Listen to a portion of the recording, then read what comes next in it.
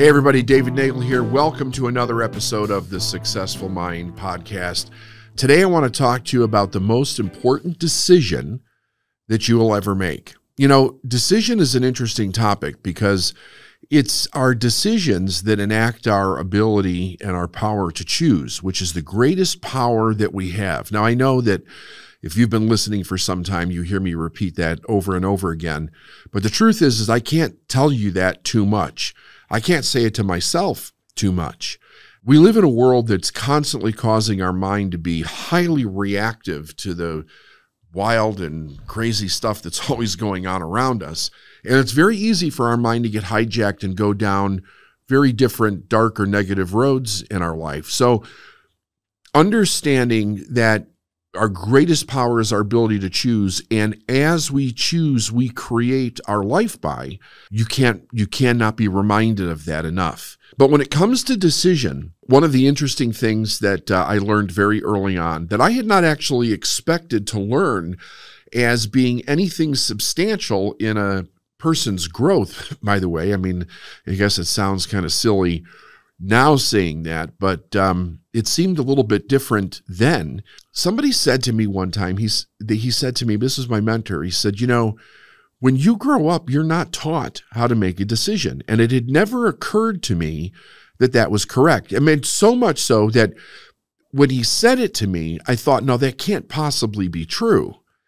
And the more I thought about it and the more he gave me examples of it, the more I found out that it was exactly correct, that most people are not taught how to make a decision. Even though with everything that we do every day, it's nothing but a series of choices and decisions that we're making. The problem is, is that almost all of them are unconscious decisions. Over the 25 years that I've been teaching people, a pattern had emerged over time that I thought was really extraordinary. And the what I learned was that most people don't make decisions from what they want. They make decisions based on what's presented in front of them as the only options that there are. And we kind of we're kind of raised like that. If you think about, you know, your parents for instance, how often do you did your parents say, "What do you want? What do you want for dinner? What do you want for breakfast? What do you what do you want today? What do you want to do? Where do you want to go?" They usually presented us with choices like you could have this or you could have this, right? Uh, even when we go to school, it's like you could take this class or you could take this class. You could go to work for this company or you could go to work for this company, or you could go to school or not go to school. The world is always presenting us with these choices, but they're not the only choices that we have uh, to make. But if that's all we're exposed to, we get kind of programmed into the idea that those are the only things we have to choose from. But we're missing something very important in this. And that is, what do we truly want in life? Very often that is not considered a decision to be taken seriously by any person because most people say well you have to be realistic right? You can't you can't have whatever it is that you want. So don't go down that crazy road. Here's what's most realistic. What's your background? What's your education? What skills are you good at? Do you have any talents or not? And then a person will often spend the rest of their life just going down that road with um, really making very few choices at all that are based on what they truly want. Well, I had an experience um, long time ago where I thought I was making decisions based on what I want. And I think to some degree I was because my life was definitely getting better. It was heading in a much better direction. However, I still had areas of my life where, unbeknownst to me, my decisions were highly being controlled by other people of influence in my life. And I didn't realize this until one day when I was looking at something to make a decision over.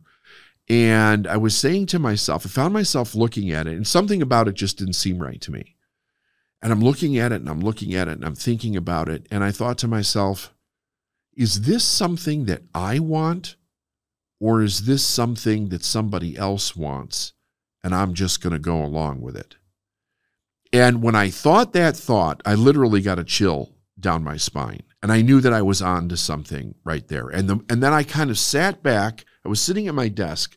I kind of sat, sat back in my chair and I started thinking, how many decisions am I actually making because this is what I want versus what somebody else wants? And it scared me. I mean, it scared me to my core because it became extraordinarily obvious in that moment that I was making more decisions based on what other people wanted in my life than I was actually making from what I wanted. And the part that scared me was that I realized I don't know that I know what I want. In other words, I got to the place where I had made so many decisions based on keeping other people happy that I couldn't tell you if this would, like, if you presented something to me, if I was making the decision because I wanted it or because I knew that it would make somebody else happy. It created tremendous confusion and chaos in my mind. I thought, I, this is this is frightening because it's like all of a sudden you realize you're losing yourself. You don't even really know who you are. Like if you don't know what you want, how do you determine who you are? It really does start with well, what do you think about yourself? But the frightening part about that is how much of our lives are actually created. Like we, we decide who we're going to be, but it's based on whether somebody else liked those decisions or not. Did you get approval for being this way, or did you get disapproval for being a certain way? And then you adjusted those choices based on the people that were around you and whether they actually approved of something or not. I found out that many people wake up somewhere in their life and they realize that they've done exactly just that, but they don't know how to get out of it. It becomes a self imposed trap. And one of the reasons is because generally when people wake up to this, they've lived a few years and they have a tremendous amount of responsibility around them that they need to fulfill in their life. And it's almost like making a decision based on what they truly want is almost like a luxury. Like i can't do that. I don't have time for to do that. I don't have the money. I don't have you know support in my life that's going to upset other people if i start choosing to be do or have something else so that day, I decided that I was no longer going to make decisions based on what anybody else wanted. When I thought about that, and I thought, okay, what do I want? Nothing came to mind. My subconscious was not releasing my desire into my consciousness so that I could actually tell you what I wanted. Anyway, long story short, I decided that I was going to start making decisions from that place, but I had to do something to get my desire to release again inside of me so that I could actually know what I wanted. And here was the process of what I started doing. I started with this idea that anytime that you're creating success in your life, where you're trying to accomplish a goal, no matter what it is that you're doing, the fastest way to get there is to first understand where you are in your own growth. Where are you on this journey that you're taking for yourself, right? I had done that many times unbeknownst to the idea that I was, my mind was also kind of focused in a different direction with pleasing other people. But I said, okay, where am I right now? What so what do I actually know that I want? And I literally had to start breaking it down to very very simple things in during the during the day, like in my life on a daily basis, like what do you actually want to eat? what temperature do you want the house at? Do you want to go for a walk, right? Do you want to watch this movie? Do you want to read this book? And I had to ask myself, do I really want that? And I so I had to get in touch with me again. Anyway, I worked my way out of this problem and then started uh, getting back into big desires and dreams that I had for myself. But it took a little while to do it. And then as I began working with people during my career, I remembered that exercise that I did. And when I recognized that somebody really didn't know what they want, that's where I began to start them. Like this might sound this might not sound exciting or inspiring, but if you if you're a person, if I say to you, what do you really want and you can't really tell me, right? If you in other words, if you're repeating what you've already told someone else, if you're repeating the same thing that you've always repeated, but you're not making any progress, if you're stuck in any kind of a situation, if your income is stuck, if your relationships are stuck, you don't know what you really want, right? Because you're stuck. So if I say, What do you really want? and you cannot tell me very clearly what you want, you might be suffering from the same problem that I had. In other words, your decision ability is there, but what it is that you desire has been pushed way back into a corner someplace in your mind because you've had too many experiences that say that you can't have it, you shouldn't have it, it's going to make other people upset, you don't have the money, you don't have the resources. And you can see how this goes on and on and on. So start where you are. Start like I did. Look at the small things that you're doing every day. And the, the key here is that you're going to reprogram your your subconscious mind so that it starts releasing that desire to your conscious mind where you know what it is that you want. But what you must do is you must make yourself conscious of the decisions that you're making on a daily basis.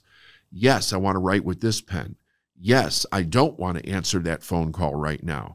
Yes, I'm going to or not going to answer that email. Yes, this is what I'm going to make myself for dinner tonight. Yes, I'm going to go on that walk. Yes, I'm going to watch this movie. No, I'm not going to do something that I don't want to do. And you start there and you give yourself permission to want what you want. Now, sometimes you'll you'll see that you want something, but then you'll think at the same time, well, I can't do that. That's where you have to break through a little bit Generally, when we think that we can't do that, it's somebody else's voice in our head that's telling us, no, you can't do that. You don't have the time. You don't have the money. You don't have the resources. You've got all these responsibilities. That's silly. That's immature, whatever it is that it might be. You got to push those voices aside, quiet them down, and say, this is what I want. If you want to buy yourself something that's seemingly of no importance at all. Like it's not going to change your life in any big way and may cause cost a fair amount of money. There is a reason that your desire is being pulled toward that thing. And generally, in these situations, it's to wake up your desire. Because when you start going after what you want, you do something that most people never do. You start treating yourself well. And when you treat yourself well, you start loving yourself again. And when you start loving yourself again, you get in touch with the inner desire of what it is that you want, why you're here, the purpose of what you're here for. And if you if you follow that process, it continues to expand over time in your life and you'll find that your desires get bigger and brighter and greater and because you're actually allowing yourself to do it, your ability to choose starts to become very, very strong. So let's kind of go back and look at this a little bit. Think about this. How many choices, maybe take a couple of days, right? And keep uh, something to keep notes on. And write down every time you make a decision or every time you make a choice, no matter how mundane it may be. And then ask yourself this question How, how often do I do this and I don't even think about it, right? Well, the answer would be all day, every day, all the time. And we're and generally we're not thinking about it because we're just choosing basically to do most of the same things over and over again. So the process of choice becomes very disillusioning for us. Like we don't see it. It gets pushed way back in the background. We don't realize that we're actually choosing. And sometimes we get into what's known as decision fatigue. Like we're making all these different decisions, and then somebody will say, Hey, what do you want for dinner? And you're like, Oh my God, I can't even think of another thing right now. You choose. Whatever you choose is totally fine because we're not consciously making those choices. So when we consciously make them, what we're doing is we're creating a, neur- a new neural pathway in our mind. We're going from the idea of just reacting to our world to staying very conscious about what we want and exercising that choice. No different than if you were to exercise in a gym or lift weights. You lift weights, your arms get stronger. When you exercise your ability to choose, your ability to choose gets stronger and it becomes more conscious. You also develop a strength which is needed in life to create the life that you want, a strength to know what to say yes to and what to say no to. And then you might think to yourself, well, how will I know? You know because either you want it or you don't. And I mentioned this to somebody the other day, and they said, well, we can't possibly start there. And I said, well, where else would you start? Right? Everything, if you're an adult, it everything that you choose should come down to whether you want to or you don't want to. And if that sounds awkward to you, if that doesn't sound right, you better sit down and think about that for a moment. You're an adult. You get to choose your life any way that you want it to be. And if that is really bothering you, sit down and write, just get a piece of paper and write out what comes to your mind when you hear that. You're an adult, you get to choose everything you want and the way that you want it to be in your life. If you find yourself going into, I can't do that because I have to do all these other things, or I can't do that because of all these other people or all these other circumstances, you've got to realize you've been disconnected from the divine side of your choice. And I say divine because your ability to choose is divine. And there's a lot of people out there that say we don't have free will. You will always find that those individuals are completely disconnected from the divine because what you choose is actually a creative process. It starts from within, not from without. It's not about choose between these two objects in life. When you start there, then it appears that you don't have a choice because one of those things is always inevitable in what it is that you're doing. But when you start with the divine in mind, right? You're coming from the creative place inside of yourself. You're coming from that intuition, that desire that is drawing you into the life that you want to create for yourself. And you can choose anything there because that's where all possibilities exist. Now, of course, the world is constantly going to try to pull you in a direction where it says you have to choose amongst the things that we tell you. You do not. You absolutely do not. And if you're doing that and it's making you miserable, stop. Make that the first choice, right? The greatest decision choice that you can make is to start to wake up to the idea that this is your greatest power but you need to exercise it to bring it into full conscious awareness so that you can start choosing from the inside out, not the outside in. Almost all the world chooses from the outside in. You've got to choose from the inside out. What do you really want? And start where you are. I am a full believer in going after the big, audacious goal in our life, something that inspires us and makes us want to jump through hoops and do all kinds of grand, grand, wonderful things. I think that's great. And I think there's a time and place for it. But when a person is in a place where they can't even think about what that is that they might be, the problem isn't that it's not there inside the person. The problem is, is they can't figure out how to access it. And they can't figure out how to access it because some part of their mind has shut off the idea that they can actually want anything for themselves. Start there where you are, right? And I promise you, in a short period of time, you will set bigger goals for yourself. You will achieve bigger things. You will create the life that you can imagine in your mind because there's nothing that you can't think of that you can't have. Everything is already around you and you're connected to it, but you have to learn to make a decision to do it. All the great books talk about the idea of making a decision. Uh, Napoleon Hill and Think and Grow Rich wrote uh, dedicated a whole chapter to making decision. Maybe you should read that. But in uh, in any regards, start where you are right now and start making conscious decisions about the things that are just in your life in the moment. Say, am I choosing this because I want it?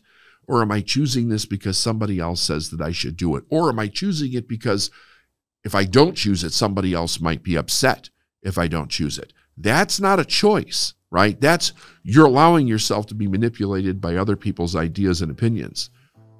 Get back to your center self.